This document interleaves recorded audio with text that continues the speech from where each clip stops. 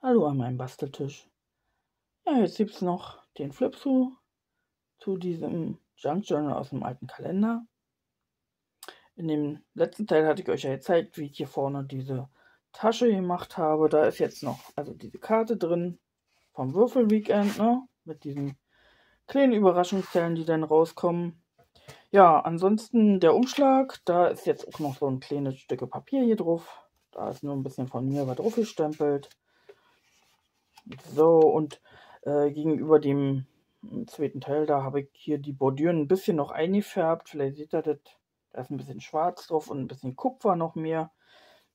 Hat mir jetzt besser gefallen. Und ich habe auch hinten das noch mal ein bisschen verändert. War ja bloß dunkelbraun und äh, sehr rau eigentlich. Und jetzt ist da so ein, so ein Wachspolish drauf in, in Pearl. Schimmert es ein bisschen. Ja, Papiere sind ja von La Blanche aus verschiedenen Sets, so Reste und so was alt habe ich verarbeitet. Also seht ihr ja hier ne, ab und zu so ein Cut drin, aber ich finde das halt in Ordnung. Und diese Die Cuts sind damit bei. Ja, hier ist als erstes schon mal eine Tasche. Da ist eine von den Karten da drin. Und dann jetzt hier weiter. Eben mal das komplette Blatt. Und hier haben wir auch nochmal eine Tasche, wo auch so eine zweite Karte drin ist. Ja, die sind doch eigentlich ganz schön groß, die Taschen. Kann eigentlich noch viel mehr drin. So, dann kommt hier das Mädchen. Und hier geht schon das los, dass ich wirklich Kalendersachen gelassen habe, sodass man wirklich was drinschreiben kann. Die eigentlichen Kalenderdaten, weil die ja alt waren, habe ich überdeckt mit diesem Stück Papier und dem hier oben.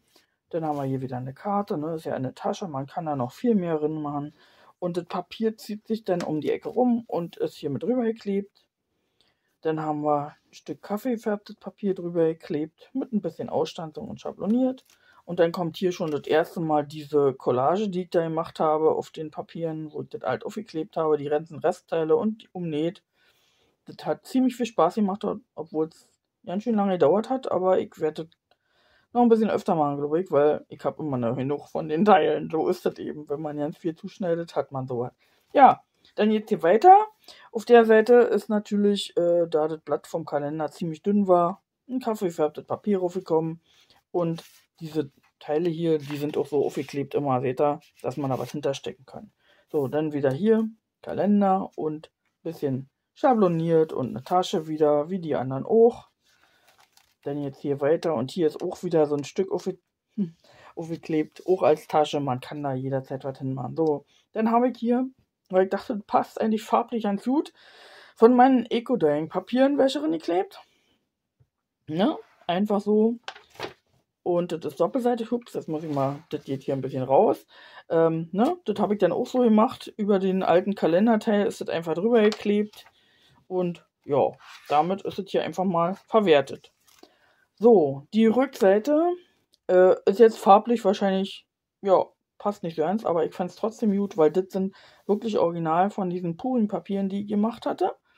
Das ist also keine Kopie, sondern das ist ein Original. Und hier ist auch wieder dieses Teil aufgeklebt als Tasche, dass ich was auf hinterpacken kann. Ne? Hier so. Ne? Könnte auch da mit hintergesteckt werden. Hier jetzt wieder weiter. Ein bisschen was zum Schreiben. Die Tasche und nächstes Papier. Und hier haben wir genau dasselbe wie bei dem anderen Ding auch Kaffee färbt. Und hier ist auch wieder Platz zum weiter machen. Dann kommt die nächste Collage. Ja, die sind natürlich auch alle verschieden, weil ja die Blätter alle verschieden sind, die ich da genäht habe. Und wieder abgedeckt mit kaffeefärbtem Papier. Und dann sind so ein bisschen diese Cutouts dahin gemacht. dann haben wir wieder Detail, wo man was beschreiben kann oder noch was drinstecken kann. Und das nächste Blatt Papier und dann kommt hier wieder diese vom Eco-Dying, diese Papiere.